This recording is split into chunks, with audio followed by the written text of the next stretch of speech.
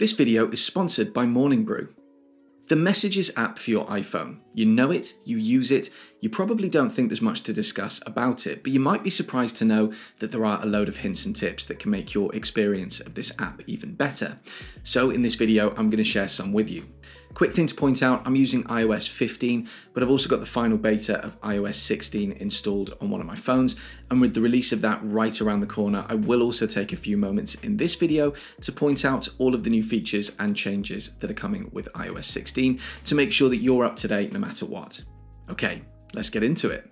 Unless this is your first time sending a message, I'm sure you already know how to do it, but in the interest of absolute clarity, let's just confirm that to send a message, you type what you want to say in here and tap this little button to send it. Tap the button and off it goes.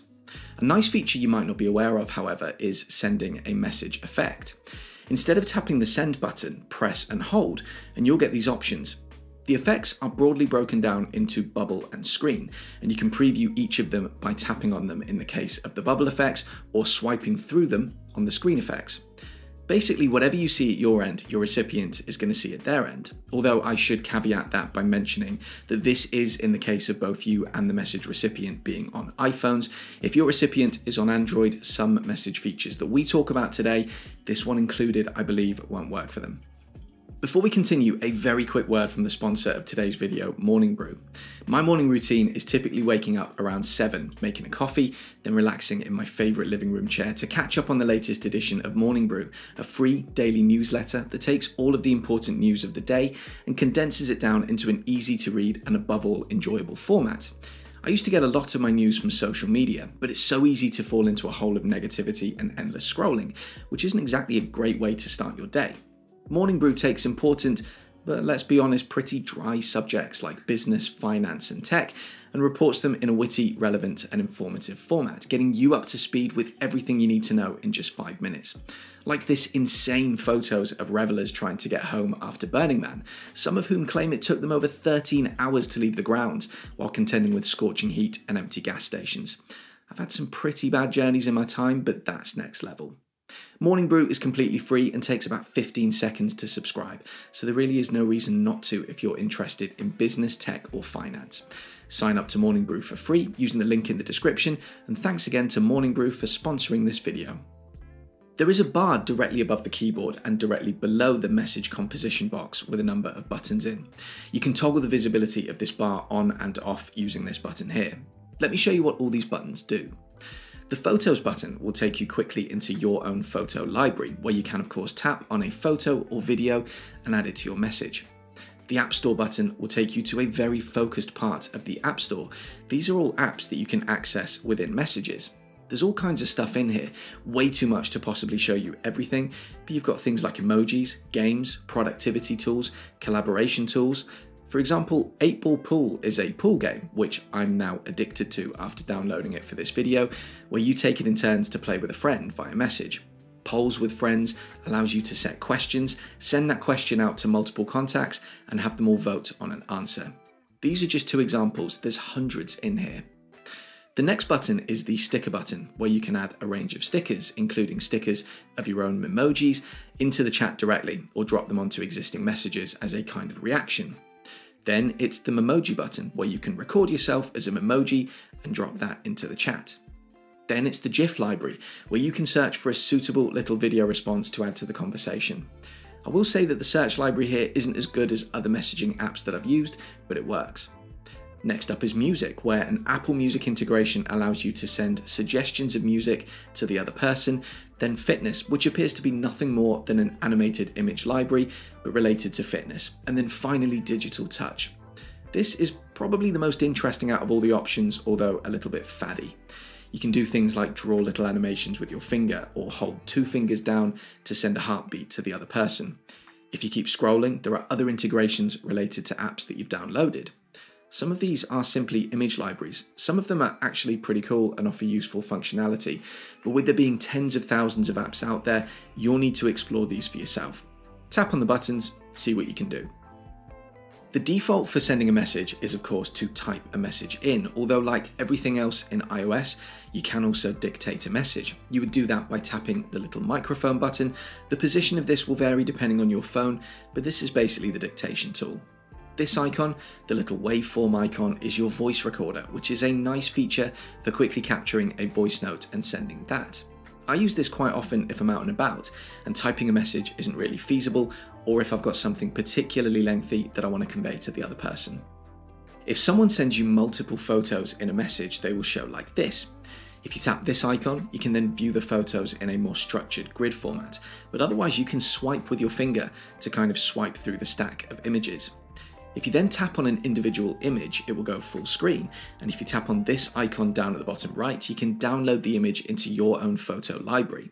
Tapping on this button will allow you to react to an individual photo, things like the thumbs up, love heart, and the sender will get informed of this. You can download all of the photos to your own photo library in one go by tapping this button, which is of course useful if you've been sent a few all at the same time.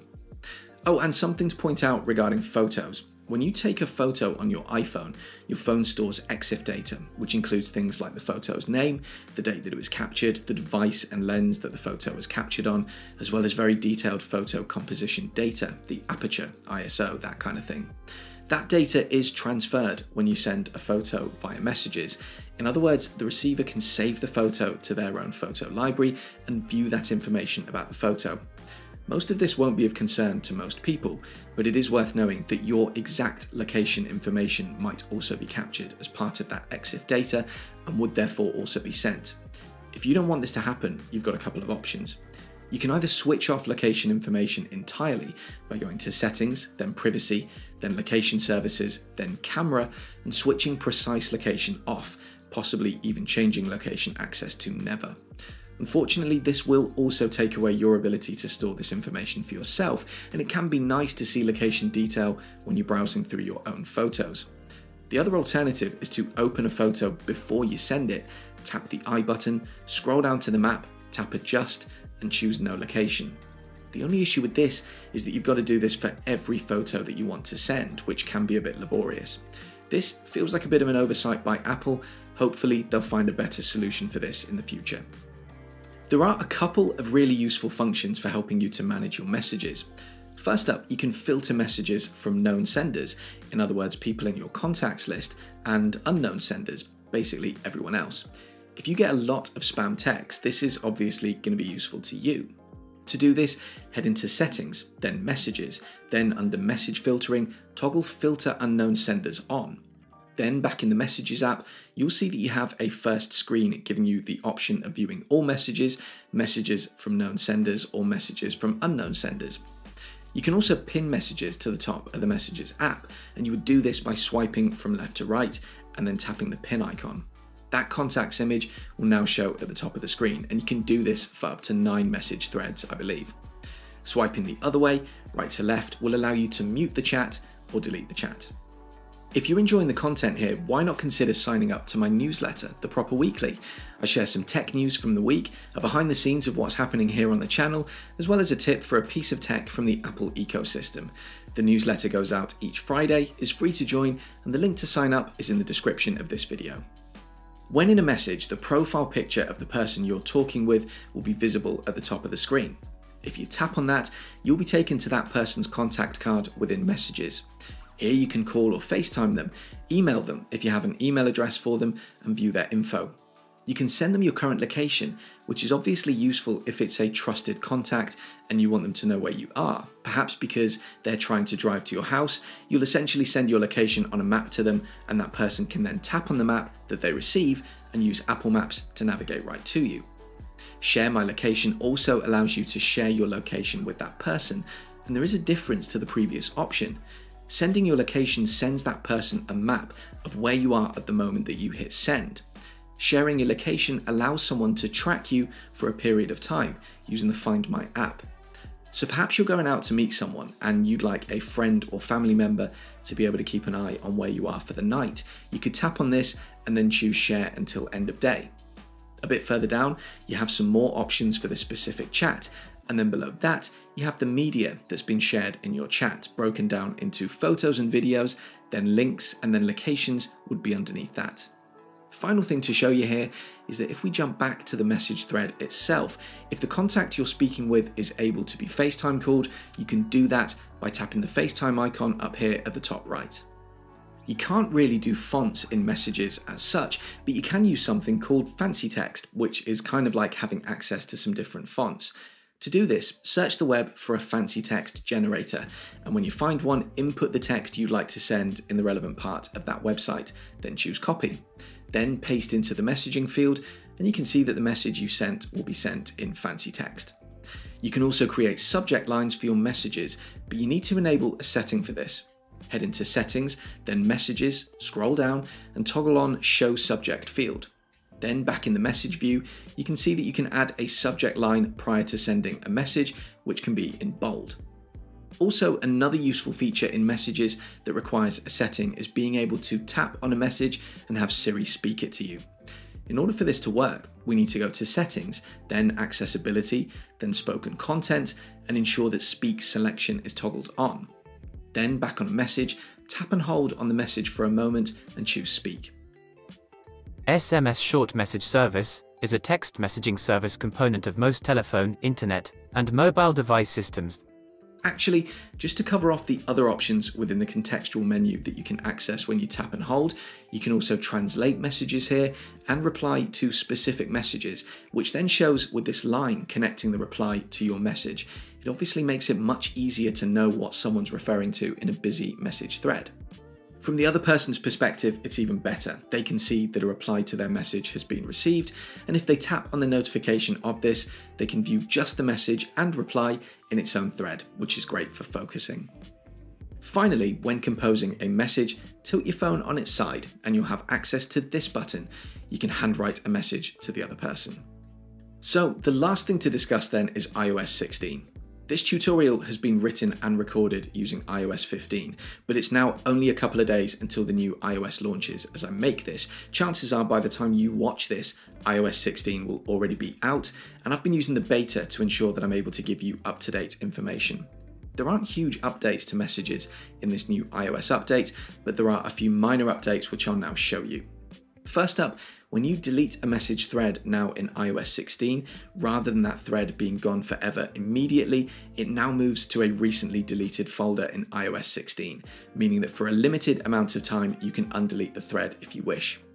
You can also now mark a message as unread, even after you've read it. I don't know whether this will impact a read receipt that your recipient gets, by the way. I would assume it doesn't. I think this is just more to give you greater control over managing your unread messages, a bit like with email. To do this, tap and hold on the message thread from the Messages tab and choose Mark as unread. The other two changes are related to messages that you've sent, although be aware that both you and your recipient will need to be using iMessage and specifically iOS 16 or later for these to work properly. You can now unsend a message, essentially deleting it from both your phone and your recipient's phone.